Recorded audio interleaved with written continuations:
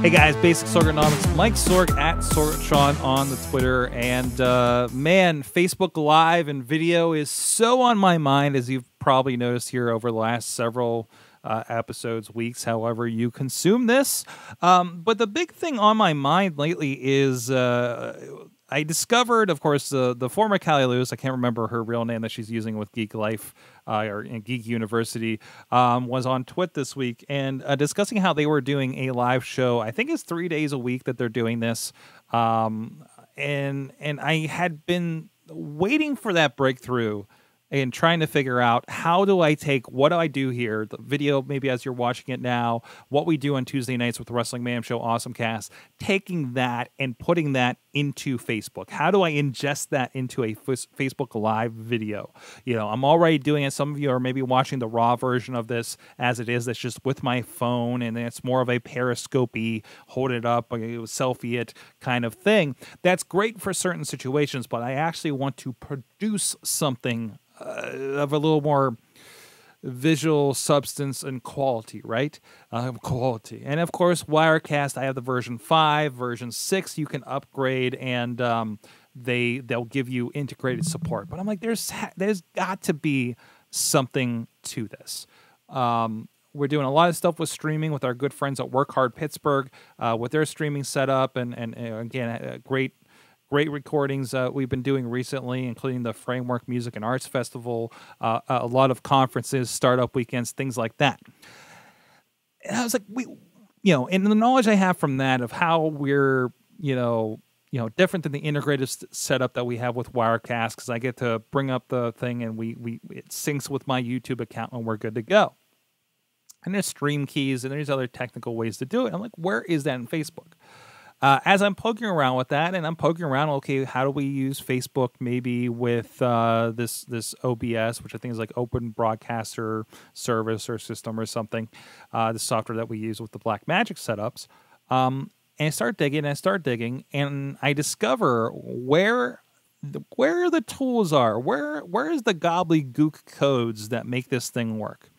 So now, um, and I'm going to speak in a little bit of technical terms, but basically, if you have a page you go to publishing tools, you look for a live video, and you go to create a, a, an event, a video, I guess you can call it. And there are stream keys. There's a there's a there's a server address and there's stream keys.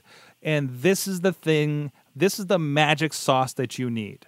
So if you are using something like that, maybe you want to stream your video game playing, maybe you want to stream something, maybe you just go look for this OBS software, uh, this, this, open broadcasting software. Actually, that's probably what the S stands for. Ugh, it's late. Uh, and you want to stream whatever it is you're doing that's a little higher quality, maybe a better camera, even at the very least, not just a webcam. It says this is not for webcam broadcasting. You can go in there, use those and you can stream. Our Wirecast setup that is already streaming the YouTube live. That's the that's the video that you see if you go to live.sorgatronmedia.com. We can add another source to that and we can call it Facebook. We can put our codes in there. We can hit go live on the Facebook page and we are live. We did it. Everything that we're producing here as we do every week now can be pushed to Facebook. Now, there's some caveats with this. Now, whereas YouTube, we can go pretty much as long as we want to. Uh, with Facebook, there's limitations, as we discovered tonight. Um, one, I can't just sit there and do three, four podcasts like we usually do on Tuesday night. It just, there's some problems. Uh, one, do I really want to broadcast out and get notifications to all of them when we're doing a wrestling and a tech show? You know, I want to kind of more be direct to my audience. So I'm actually having to stop the stream, go over to the other Facebook page, start a new one, set it up, go copy and paste everything.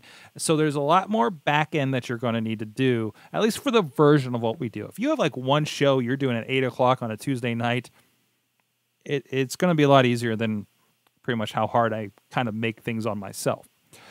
Also, there's a there's a limitation on uh, the length. We discovered this when we were using Facebook Live recording a session for PodCamp Pittsburgh a few weeks ago, uh, one of our boot camp sessions for Intro to Podcasting. Uh, that actually, you can find that over on the PodCamp Pittsburgh Facebook page under the videos. Um, it cuts off at 90 minutes. We knew that was the case for live streaming from our phone. Okay. But apparently, it is also the case when you're live streaming using a server, Wirecast, Open Broadcaster, Open Broadcaster software, whatever the case may be. That is a general. You can upload a longer video, I believe. I think so. I, I don't think that's changed because I believe we put Wrestling Mayhem shows up there that are definitely over 90 minutes. We've just had to get them re-rendered so they were a smaller file size. Um, so again, we're not going to take this with some of our events that we do, like an all night music concert that was three hours of, of final content. Um, we're not using Facebook Live for that. Not in the same fashion. We could tweak it a little bit, but you're not sitting there and having a stream all night. That's the entire day of PodCamp Pittsburgh, for instance, uh, the entire uh, uh, uh day of sessions for for some conference, right? Um, or a giant concert that's that's more than 90 minutes, right? You still have to make sure it's that con that that segmented content. Hey, we're going to be doing a show for the next hour. Facebook Live, check us out. Hey, we're going to be doing this thing for 20 minutes. Q&A session right now. Facebook Live, join us.